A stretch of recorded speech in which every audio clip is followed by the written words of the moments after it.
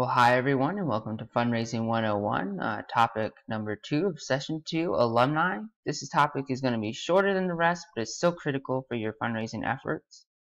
During this topic, we will cover what is an alumni, why are they important for your fundraising efforts, and how to go about setting up an alumni program. So what is an alumni? An alumni is typically thought of as an individual who has graduated or participated in some sort of group, program, class, etc. The alumni are normally only thought of as those who have graduated from one of the above lists in a college setting. I invite you to broaden your thinking. An alumni might be someone who has worked or volunteered at your ministry, or someone who has participated in a ministry with programs, events, groups, etc.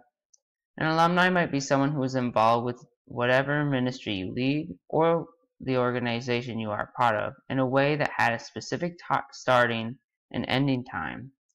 For example, a camper, a staff member, a volunteer, even an event participant. Okay, so why are alumni so important for your fundraising effort? First, alumni are individuals with the strongest emotional and personal connection to you or your organization. They have been personally impacted by the ministry, program, group, etc. They have been invested in, and naturally they want to invest back into those who have first invested in them. They not only can imagine what you are talking about in your appeals, they experienced it firsthand. Thus, oftentimes alumni are some of your most generous and highest potential givers out of all your other donors. Not only are alumni your top potential generous givers, they also have one of the highest lifetime giving potentials. What I mean by this is that their donations collectively added up over the, their years will likely amount to more than many of your other donors will. This is not only due to their generosity, but the amount of years that they have an opportunity to give.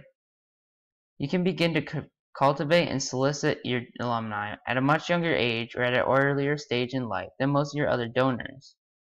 Well, you actually have jump-started the cultivation process because of their pre-existing strong relationships with you and your organization. Thus, alumni have a longer opportunity to give.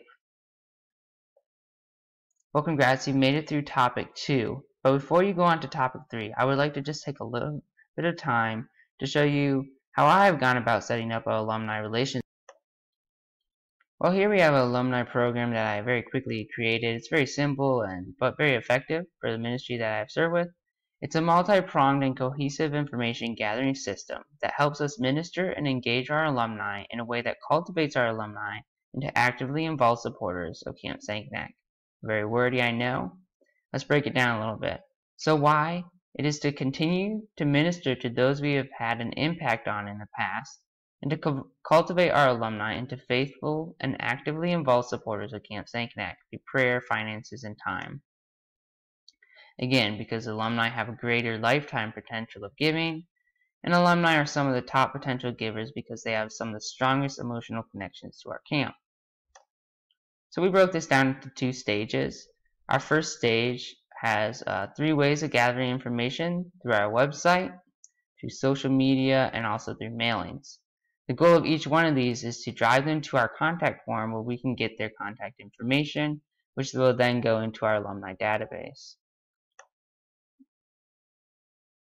At stage two, we break it down a little farther. Here we have our web page, social media, mailings, our contact form, which now has their contact information in our alumni database, we can then, through our alumni database and also segmenting it and syncing it with our other databases, uh, post relevant announcements, information, opportunities, events, appeals, um, and through these opportunities, they will have chances to become our volunteers, our donors, or other supporters of Camp Sankanac.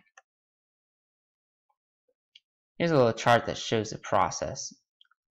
Before stage one, they're uncultivated Camp Sankanac alumni. We may have not reached out to them in the past, or we may have reached out to them, but not in a way that really connects with them as alumni. At stage two, they're cultivated in our new alumni database. And at stage three, they're fully cultivated. Not only are they alumni in our databases, but now they've gone into our donor databases, our volunteers. Um, so they're really being able to connect with camp in a way that suits them and their personality best. So let's take a look at this um, in action. So here we are at Word of Life Bible Institute's alumni page. I'm actually Word of Life alumni, so I'm kind of uh, on the front end of this alumni program. Here on their webpage you see alumni um, where you can it's easily visible at the top of their webpage. They have relevant alumni events posted at the top of their webpage. They have a way to stay connected here. They have their social media Facebook group and also their version of the contact form. And then the cool part about this is they actually have opportunities to donate right on their web page. Um, and again, in ways that are relevant to them as alumni.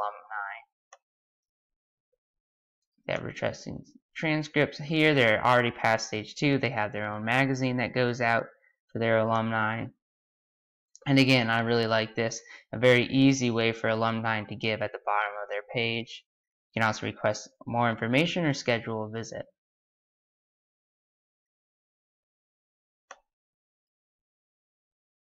So I hope this uh, time has been helpful for you, not only to understand what alumni is and why they're important, but also to give you an idea of how you can start uh, building relationships with your alumni and turning them from uncultivated alumni into active supporters of your ministry or your organization.